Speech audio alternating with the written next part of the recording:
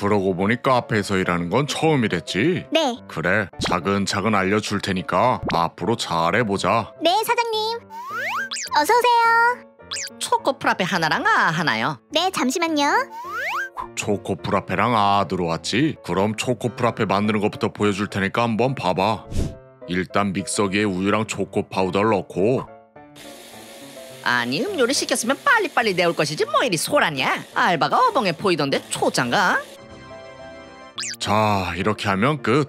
어때? 생각보다 쉽지? 보는 건 쉬워 보이는데 막상 해보면 버벅일 것 같은데요? 몇 번 해보면 금방 한다. 일단 레시피 적어둔 종이 보면서 천천히 만들어봐. 그리고 이건 너 마시고 네, 사장님. 아니 이것들이 지금 내 음료로 신입 교육 시키고 있는 거야? 이러면 끝인가요? 오 그래도 처음 만든 것 치곤 잘했는데? 그런가요? 자 그럼 커피도 다 내렸으니까 진동벨 눌러. 네. 자기야? 네? 아까부터 보고 있었는데 지금 내 음료는 뭐 하는 거죠? 지금 장난해요? 장난이라뇨? 아니 직원 교육은 손님 없을 때나 할 것이지 왜 멀쩡한 내 음료를 가지고 연습을 하냐고? 혹시 무슨 문제라도?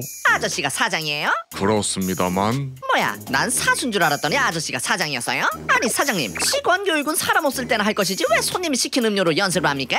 지금 나보고 초짜가 어떻게 만들었을지도 모르는 음료를 마시라는 거예요?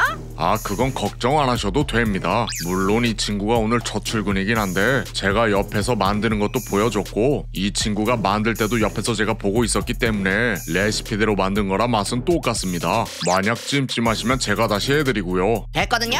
출근 첫날부터 알바한테 음료부터 만들게 하는 이 망할 카페 폼 미쳤네 아 수준 떨어져서 먹고 싶은 마음 싹 살아 쳤으니까 음료는 갖고 가서 처먹든지 말든지 알아서들 하시고 환불이나 해주십시오 아 그럼 그렇게 해드리겠습니다. 그리고 제가 쿠폰 하나 드릴 테니까 다음에 오시면 디저트 하나 서비스로 드릴게요. 죄송하게 됐습니다. 뭐야? 아니 이 아저씨가 누굴 크지로 하나 이딴 거 필요하거든? 내가 미쳐서? 이딴 그지 같은 카페를 또 오게?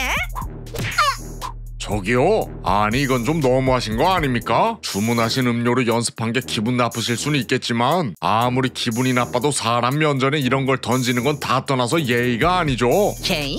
그렇게 예의 따지는 사람이 주문한 음료를 연습용 삼아서 돈 주고 팝니까? 그래서 그 점에 대해선 사과드렸고 다시 만들어 드리거나 환불해 드리겠다고 말씀드렸잖아요. 아니 그럼 뭐 사람 다치게 해놓고 약 주면 끝입니까? 그래서 제가 다치겠어요? 그건 지금 상황에선 적절한 예시가 아닌 것 같은데요. 됐고 난 돈을 내는 고객이에요 돈을 냈으니 최고의 서비스를 받을 자격 있는 사람이라고 고객 입장에서 불편함이 느껴져가지고 내 정당한 권리를 얘기한 게 뭐 잘못됐나요? 그래서 알바 얼굴에 쿠폰 던지는 것도 정당한 권리에 포함되어 있는 행동입니까? 그리고 최고의 서비스를 왜 한낱 동네 카페에서 찾아요? 그럴 거면 5성급 호텔을 가야지. 아, 어쨌든 크니까 누가 먼저 잘못하랬냐고 서비스를 똑바로 못했으면 그에 맞는 벌을 받아야지 지금 토개 잡고 죄송하다면 용서를 구할 사람이 누군데 으다 대고 하늘 같은 고객에게 딴지야?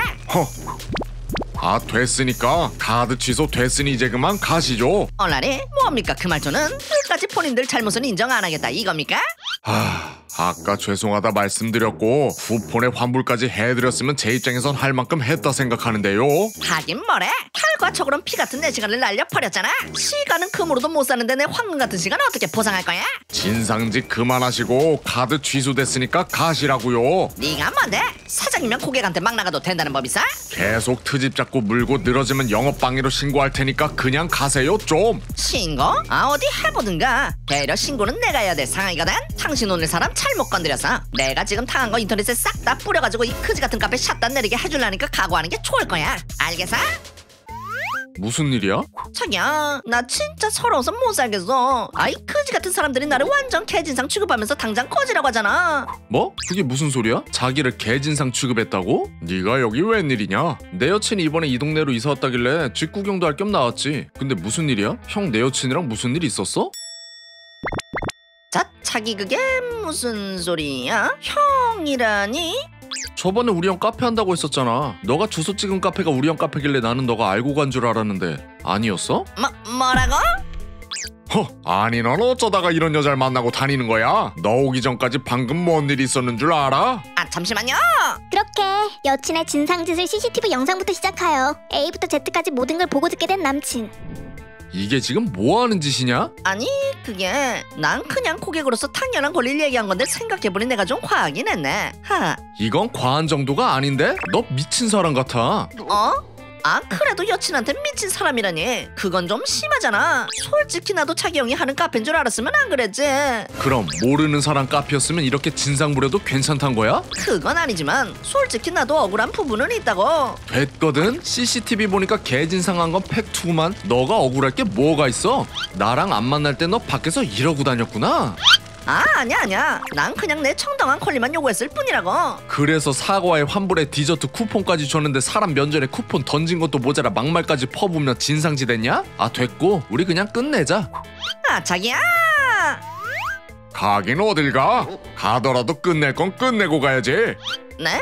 뭘 끝내요? 저 환불 받았잖아요 남의 영업장에서 행패 부렸으면 벌을 받아야지 그리고 이 친구 얼굴에 쿠폰 던진 거 뭐면이 모욕의 폭력행위거든 여보세요? 경찰서죠? 야핫 여기 영업 방해하는 사람이 있어서요 주소가 어떻게 되냐면 아 사장님 제가 잘못했어요 다 사과 드릴 테니까 제발 전화 좀 끊어주시면 안 될까요? 예 빨리 좀 와주십시오 아 사장님